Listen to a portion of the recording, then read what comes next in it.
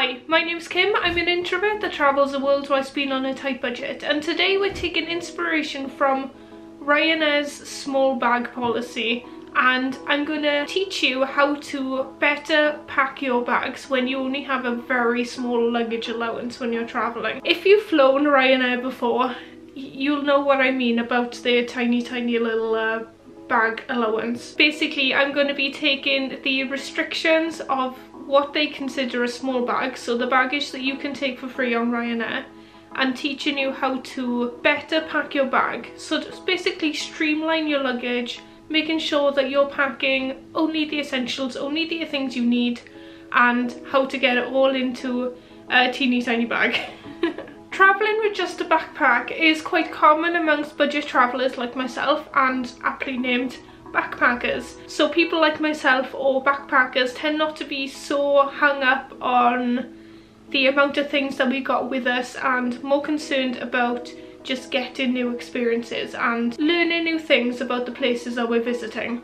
So with that, because we want to travel cheap, we are more likely to take less stuff with us so that we can save money on having to pay for extra luggage. Less money spent on baggage is more money to spend on experiences and doing amazing things when you get to your location. Many of you may be used to the more generous luggage allowance that package holidays give you, but if you're going to be paying for package holidays, you're going to be overall able to afford to go on less trips because package holidays tend to be more expensive and they tend to go to more like luxurious places. So if you're happy going cheap, going on a budget, taking less stuff with you, not bothering with a suitcase, then it's a way of being able to travel more if that's something that you're seeking. I've travelled in a variety of ways. I've travelled from three people, three cases, all in the back of my tiny little Peugeot 107 traveling for two weeks to go into more luxurious five-star resorts where you do have a, massive luggage allowance and you can you can take what you want. I've been on both ends. I've travelled cheap without much and I've gone to really nice places. I guess if there's somebody who can talk about uh, packing luggage better, then I guess it's me. I've also travelled using Ryanair and I've had experience of this small bag allowance and I've managed to fit enough things in my small backpack, so Ryanair's small bag allowance, to last me five days.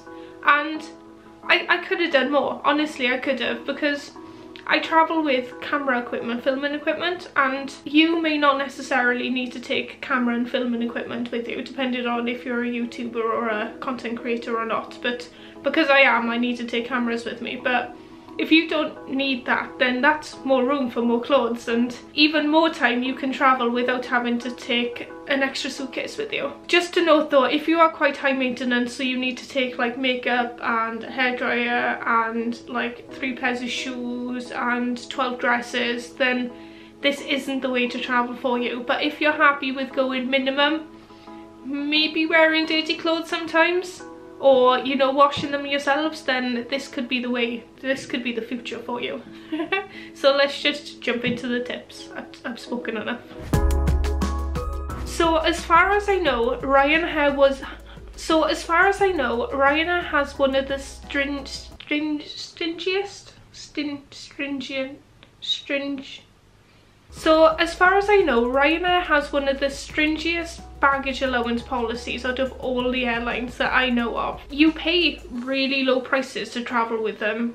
The service is, you know, minimal and your baggage allowance is almost nothing but you you pay hardly anything to travel with them if you're interested in knowing what their travel allowance is i'll pop a little graphic up here or if you go into the description there'll be a link to my blog where the graphic will be there too. Of course you can buy extra baggage but who wants to do that when you can spend the extra money on adventures when you get to your place. So I'm going to be using a bag that fits into Ryanair's small bag policy to show you how to pack and how you can get away with taking less when you travel.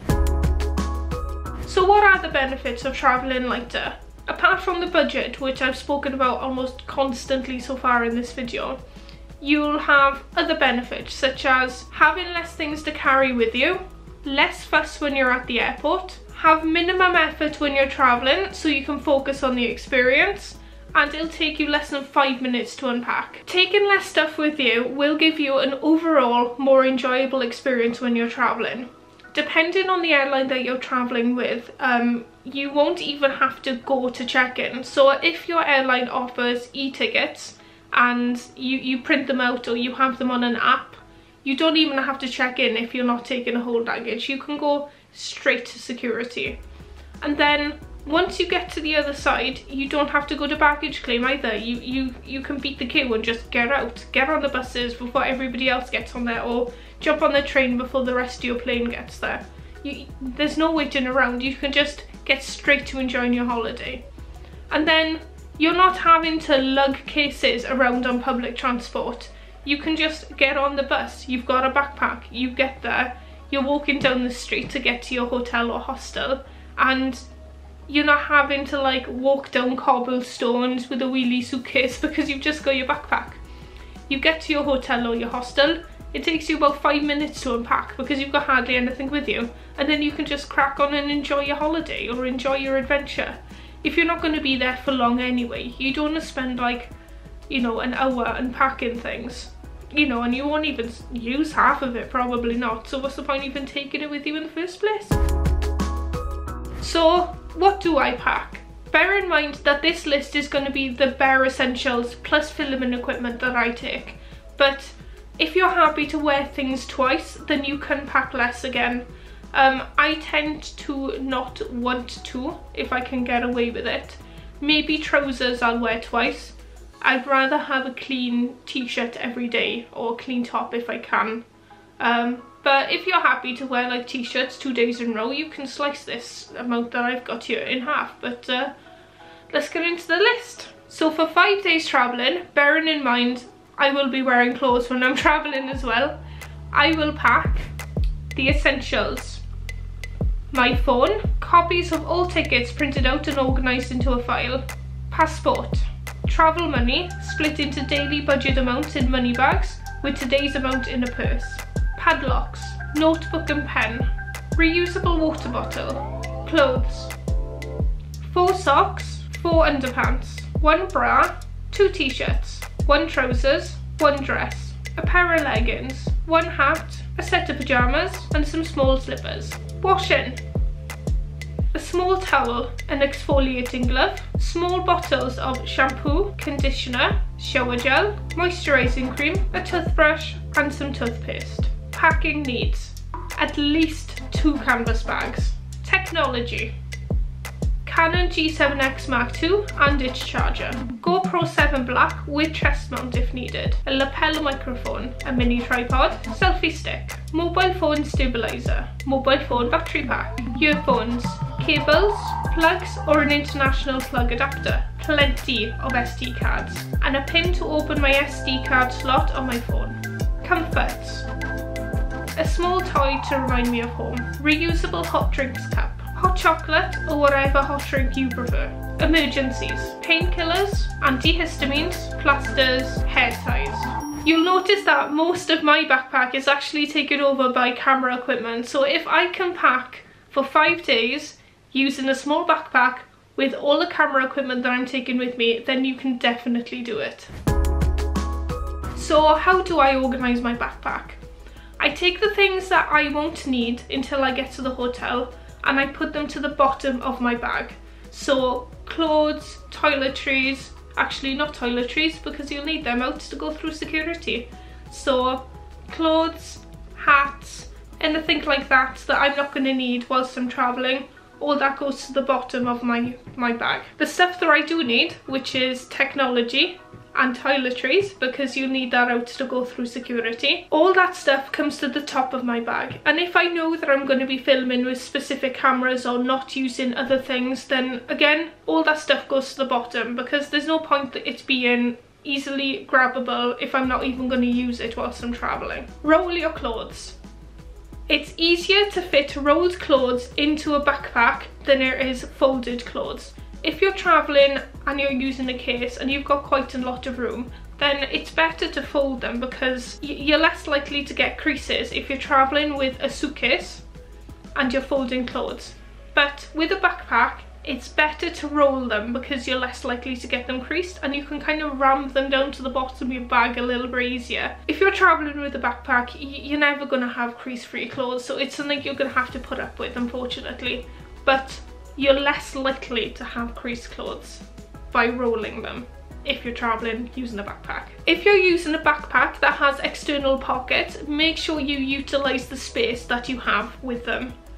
I tend to put my notebook and my pens in the front pockets of my backpack because I know I can kind of cram them in and they're not breakable and if they get smushed up against things it doesn't really matter because it's just it's just a notebook and a pen. Don't put breakable things in your external pockets, but know that you've got them, that you can use them to cram stuff in if you're starting to get short on space as well. Don't forget that your clothes have pockets too. I always carry my water bottle in my coat pocket or in my hand because I don't want my water bottle to be taking up space in my bag when I don't have much of it already. Try not to use your pockets for a lot of things if you can get away with it because having to like reorganize yourself every time you sit down could end up becoming a hindrance and just an annoyance rather than it actually being helpful. So only put loads of stuff in your pockets, worst case scenario, if you are really, really tight on space in your backpack. Otherwise, just use it for the bulkier things like your water bottle, maybe a hot drinks cup, things like that. Easy things to just carry in your hands if you need to staying organised. One of the most important things that you need to do if you're travelling with just a backpack is staying organised. Make sure that all of your paperwork is organised in a file rather than it just floating around in your backpack. The files that I prefer to use are the ones that kind of open and there's individual plastic pockets inside them. It means that I can organise things easily and easily get hold of things because it's all in order easily findable in a binder. The way that I used to organise things, so if you're just starting out, this may be a better way. But um, I've had one of these more sort of Ziploc style files and I used to use little paper tabs and organise everything inside this in order that I was going to use it and then put in that in my backpack but um, because I take scripts and um, things to do with filming now the file way is a little bit easier for me than the Ziploc pocket way I guess. But if you're not taking too much paperwork then you may find that the Ziploc pocket um, file is easier for you to organise your paperwork.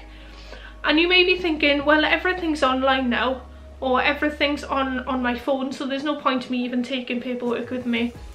Print stuff out just in case. What happens if you get to the airport and your phone runs out of battery you haven't got a ticket for your flight, print out an e-copy or print out a paper copy of your e-ticket. Worst case scenario, you know you're fine. And A4 folders should fit fine rammed on the back of your backpack. Your paperwork isn't going to stay straight, but at least it's organised and easy to get to. I use little storage tins to organise little things in my backpack. So You may have seen these before. These are my storage tins. These are the ones that I created. And these are the ones that I actually use when I'm traveling. So, you know, just in case you think, oh, Kim's vlogging products she doesn't even use, I, I, I genuinely use these when I'm traveling. And they're great because they fit into little sections in your bag. And you can organise little things inside um, I tend to use these to store my SD cards or I have one that has all the emergency stuff in. So painkillers and antihistamines, things like that. Uh, I keep all that stuff in there so I'm not having to like dig through my bag if I'm on the plane and I'm like oh I got a bit of headache coming. I don't have to like dig through my bag going oh no not that, not that, not that, not that. You know and it turns out it's kind of hidden at the bottom. I know all I've got to do is try and find the tin and it's in there. Um, if you want to get some tins for yourself, the link will be in the description for you. And I recommend it, not just because I created them, but because they are genuinely really handy for travelling. But um, using those is a really good way to stay organised when you're travelling with uh, not much space and teeny tiny little things. On my packing list, you may have noticed that I said that I carry canvas bags with me. And the reason I do this is one because it keeps me organised when I'm at the hotel or the hostel. And thing number two, it keeps me organised when I'm travelling. So when I'm travelling, I use these bags to organise things that I might want to get a hold of when I'm travelling without me having to go through my whole bag to get stuff out. So if I know that I'm going to be using certain cameras or I want certain things out of my bag when I'm travelling, I put everything that I want in a canvas bag at the top of my bag. So all I need to do then is take out the canvas bag and then my backpack can go up above and I know that I got everything so I don't need to worry about it. Um, this tip works even if I'm carrying, even if I'm taking a suitcase, I use this as well because you carry stuff in your hand luggage that you don't necessarily need for the flight, it's just stuff that you want to carry with you. So maybe you're carrying souvenirs home with you or you've got precious things that you want to make sure that are with you, you don't want to put in your suitcase. You can put them in your hand luggage and then you have a canvas bag on top of all that with all the stuff that you want for the flight and then all you got to do is take your canvas bag out and you know the rest can just go away and you've got everything you need in a canvas bag. And there are other things that you can organize in canvas bags as well in your luggage. So for example if you wanted to take more bags with you you could put your clothes in one you could put your pajamas in one. Or another thing that I use them for is if I'm staying in a hostel and you're using a communal shower you'd use a canvas bag to put your pajamas in or your clothes that you're changing into and your toiletries. So you're not having to like carry everything everywhere it's just all in a bag for you they, they just come in really handy when you're traveling especially if you're staying in hostels but even if you're not staying in hostel they, they're just handy to have with you there are some items that will be forbidden for you to take if you are just going to be taking a backpack with you. Obviously you've got the normal things that you can't take with you like, you know, weapons and acid and things like that. But you can't take individual bottles of liquids above 100ml through security and onto a plane. So uh, this means that if you're taking your toiletries, they'll need to be put into smaller bottles rather than you can't take massive bottles with you. When you're taking your hold luggage or when you do take hold luggage, obviously you can put these bigger bottles into your hold luggage and they go beneath the plane. But if you're not taking hold luggage, then you need to be aware that you, you, you can't do this. They, they've got to go into little bottles. And if you're only going to be travelling for a short amount of time, just taking a little bottle will serve you fine anyway. A good way to save space when you're packing is to go digital. What I mean is you don't need to take a book with you. You can download an Audible book or you can download books onto your phone. everything that you may need to take an extra thing for can be used on your phone. So you don't need an MP3 player, you've got your phone. You don't need to take a guidebook with you, you've got your phone. You don't need to take a map with you, you've got your phone. If you're worried about signal or you go into a place that the roaming charges are quite high, then you can always download maps onto your phone so you've got them. Almost anything that you would think that you need a separate thing for you can do it all on your phone so don't bring more things than you need to if your phone can cover it phone cameras nowadays are amazing you don't need another camera unless you're planning on doing something more professional with your photographs your phone will do don't buy things when you're on holiday. Don't bring things back. I mean, you can buy little things like key rings or magnets or something that I do is I buy pins from every location that I visit.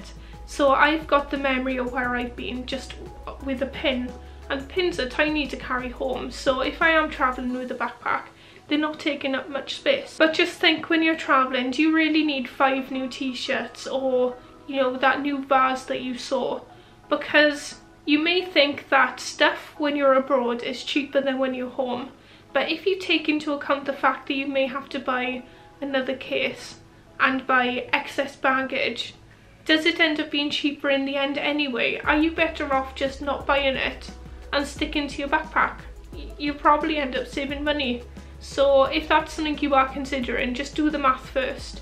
And like I said, you may be better off just not buying it and sticking with your backpack. I hope you found this video useful. I'm by far a minimalist when I travel, but for a few days and to save some money and to go on an adventure, I'm quite happy to do without some creature comfort just so I can travel. If I travel maybe twice without a case, that'll give me enough money to be able to go on a third holiday. So to me, it is well worth even just the budget aspect of it, of traveling with just a backpack because the less stuff I take, the more traveling I can do. And the more traveling I can do, the more content I can create for you. If you have any other tips on how you can save money when you're traveling or how to better pack and organise your things, then please leave a comment down below. I'm always interested in hearing new budget tips or new tips on how to travel more effectively. So down below please. I'm releasing two informative travel videos a week at the moment, every Monday and Fridays, released at 7pm UK time. So if you're interested to learn out more on how to travel better, how to save money whilst you're travelling, then please don't forget to subscribe and ring that notification bell so when the video does come out, you are notified about it. There's also a link in the description that'll take you to my blog and any links that I've discussed in this video they'll all be included in the blog for you. Or um, if you stumbled on this video and you prefer reading things rather than listening to me talk, you can go learn everything down below there. And talking about um, links in the description, if you follow me on Instagram, you may know this already, but we've started doing little challenges on Instagram every week.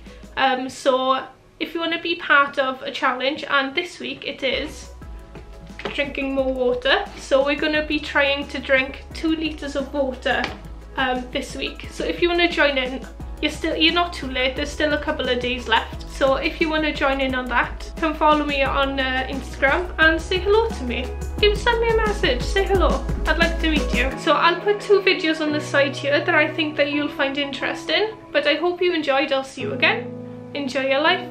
Ta-da!